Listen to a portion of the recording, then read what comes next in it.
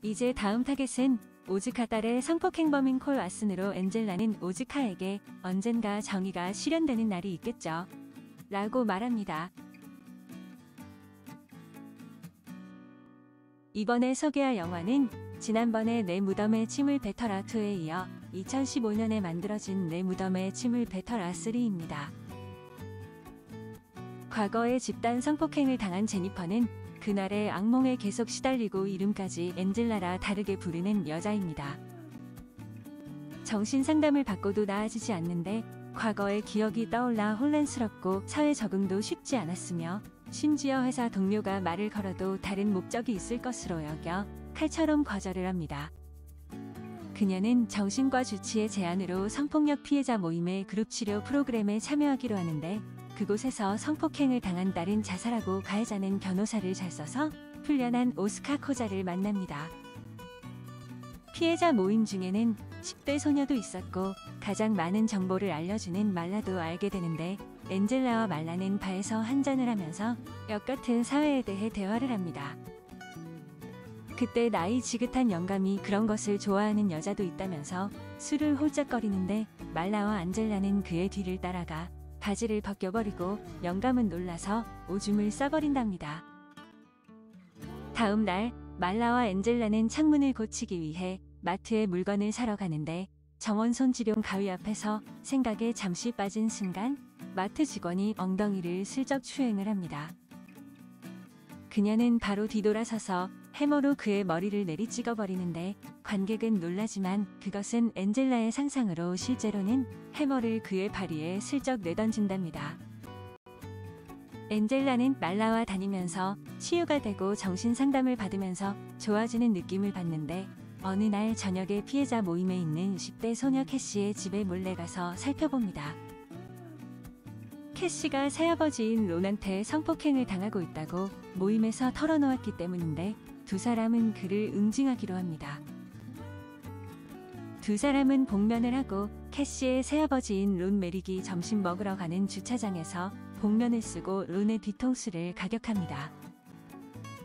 여자를 희롱하거나 쳐다보면서 실실거리면 후회하게 해준다면서 몇 대 시원하게 갈겨주는데 다음 날 피해자 모임에서 캐시는 새아빠가 잘못했다면서 달라졌다고 말합니다. 그러나 파티를 하자는 엔젤라의 말에 말라는 전 남자친구 때문에 일찍 가봐야 한다며 가버리는데 그것이 말라의 마지막 모습이 되게 됩니다. 엔젤라는 말라가 약속한 시간에 바에 오지 않아 바람을 맞는데 모임에 가서 말라가 죽었다는 이야기를 듣게 됩니다. 피해자 모임의 탐문조사를 온 맥딜런 형사가 말라의 죽음에 대해 사람들한테 이것저것을 묻는데 말라의 검시 보고서에는 성폭행 흔적이 있다고 되어 있었습니다. 맥딜런 형사는 말라의 최근 행적에 대해 아는 사람은 알려달라지만 엔젤라는 말을 하지 않고 나중에 조용히 맥딜런 형사한테 가서 살해되었는지 성폭행을 당했는지 가해자가 전 남친인지 등을 물어봅니다. 이에 맥딜런 행사는 커피숍에 가서 좀 더 자세한 이야기를 하자고 하고 말라의 전 남친은 교활한 사람인데 자세한 건 아직 조사 중이라 말할 수 없다면서 최선을 다하겠다고 말하고 갑니다. 길을 가면서 엔젤라는 그녀에게 항상 찝쩍거리는 몇 놈을 만나는데 순간 이 놈들을 해치우는 상상을 합니다. 사무실에서 말라의 전남친이 무죄로 석방된 기사를 본 엔젤라는 맥딜런 형사한테 따지러 가는데 안타깝지만 정의가 항상 승리하는 것은 아니라고 맥딜런 형사는 말합니다. 무엇이든 해보라고 다그치는 엔젤라에게 형사는 증거가 없다고 하는데 이에 열받은 엔젤라는 뭔가 큰 결심을 한 듯이 몸에 칼을 숨기고 다니는 모습을 보여줍니다. 화장을 짙게 하고 나이트클럽에 간 그녀는 누군가를 주시하는데 그는 말라의 전 남친인 니콜라스로 그녀가 유혹하듯 밖으로 나오자 니콜라스는 따라 나오게 됩니다. 그리고 이런저런 하드코어 장면이 이어지다 엔젤라는 니콜라스의 거시기를 칼로 두 조각 내버리고 가방 속에 준비한 새지레로 갈기갈기 찢어 니콜라스를 죽여버립니다. 그리고 다음 날 엔젤라의 사무실에 맥딜런 형사가 찾아와서 엔젤라의 행적에 대해서 물어봅니다. 뭔가 냄새를 맡은 것이죠. 한편 모임에서 캐시는 그 미친 새 아빠가 다시 자기를 건드린다는 호소를 하고 열받은 오스카 코짜는 누군가 벌을 줘야 한다고 하면서 울먹이는데 엔젤라는 아무 말도 하지 않습니다. 그리고 그녀는 캐시의 새아빠 론의 가게에 어려 보이는 옷을 입고 늦은 시각에 찾아가서 일부러 음침해 보이는 곳을 찾는다고 말을 해서 그를 유혹합니다. 론은 앞뒤 안 가리고 달려들다 바로 전기 충격기에 당하는데 정신을 차리자 온몸이 묶여 있고 엔젤라가 나타납니다. 엔젤라는 무지막지한 막대기를 항문에 쑤셔 넣는데 론은 잘못을 빌어보지만 때는 늦었고 엔젤라는 증거를 불태워 버립니다. 다음 날 피해자 모임에는 여형사를 포함하여 3명의 형사가 찾아오고 엔젤라는 오즈카를 만나 딸의 성폭행범에 대해 물어보는데 경찰이 DNA를 분실해 증거가 사라졌고 무죄가 되었다고 합니다. 이제 다음 타겟은 오즈카 딸의 성폭행범인 콜 왓슨으로 엔젤라는 오즈카에게 언젠가 정의가 실현되는 날이 있겠죠. 라고 말합니다. 체육관 트레이너인 콜 왓슨의 뒤를 밟는 엔젤라는 한참 뒤쫓다 전기 충격기를 들이대려고 하는데 이 괴물 녀석은 목을 칼에 찔리고도 아무렇지도 않았습니다. 그는 주먹을 휘둘러 엔젤라를 쓰러뜨리고 강제로 범하려고 하는데 온 힘을 다해 전기 충격기로 지져보지만 그는 오히려 전기 충격기를 빼앗아 엔젤라를 지져버립니다. 그 위험한 순간에 두 명의 형사가 나타나 총을 겨누고 꼼짝 말라고 외치지만 왔으니 그래도 움직이자 여섯 발이 총에서 발사되는데 총알 앞에는 모든 인간이 평등해서 강간 가해자 콜와스는 죽게 됩니다. 여형사는 끈질긴 조사로 엔젤라의 루이지에나 사건까지 다 알아내는데 개명에 모를 줄 알았지만 여형사 버일은 제니퍼 힐스 사건의 전모를 거의 다 알고 있었습니다.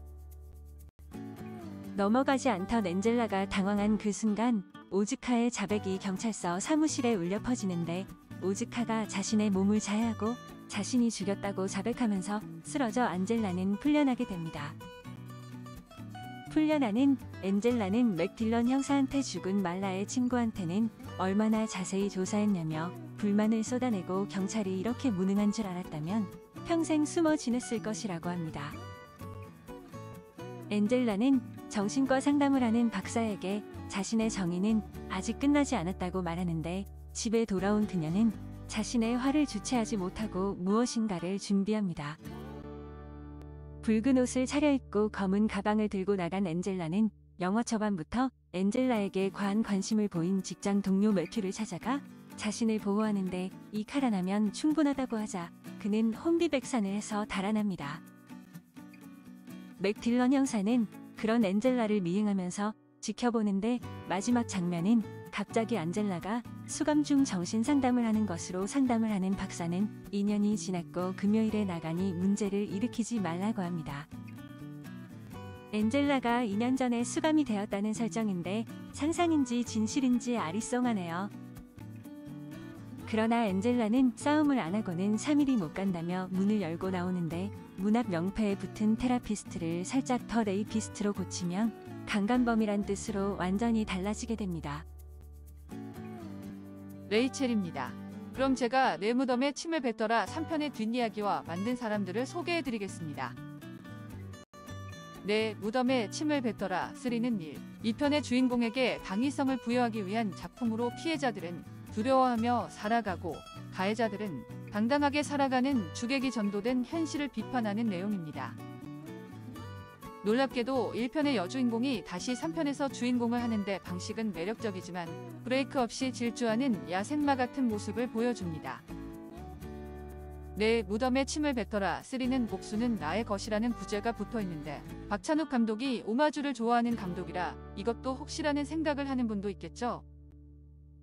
하지만 박찬욱 감독의 영화 복수는 나의 것은 2002년에 선보였기 때문에 브라운 슈타인 감독이 이를 베낀 것으로 감독이 날뒤 브라운 슈타인은 2012년 미스터리 스릴러 텔레비전 영화인 Layover로 감독 데뷔를 했습니다.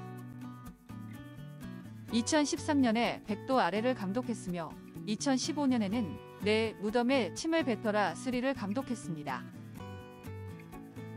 여주인공 제니퍼 역의 사라 버틀러는 워싱턴주 푸어럽 출신으로 합창단에서 노래를 불렀고 노래 대회에 참가했으며 지역 극장에서 공연을 했습니다.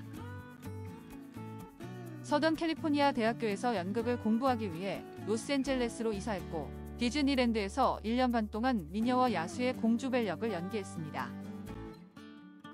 대학을 중퇴하고 텔레비전과 영화 오디션을 보기 시작했는데 CSI 마이애미와 CSI 뉴욕에 게스트로 출연했으며 네 무덤에 침을 뱉어라에서 주인공 역을 차지했습니다.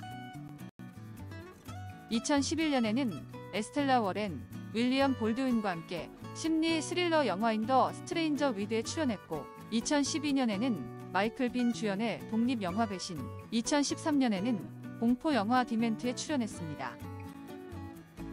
당신이 나에게 말했던 것처럼 당신이 언제나 나만을 생각한다는 것이 진실이라면 우리 서로가 비록 가까이 있지 않을 때라도 우리의 영혼을 끊임없이 함께 있게 만드는 이 감미롭고 친밀한 생각의 일치를 신뢰하는 것은 나의 가장 큰 행복 중 하나랍니다. 빅토르 위고 언제나 당신이 나만을 생각한다면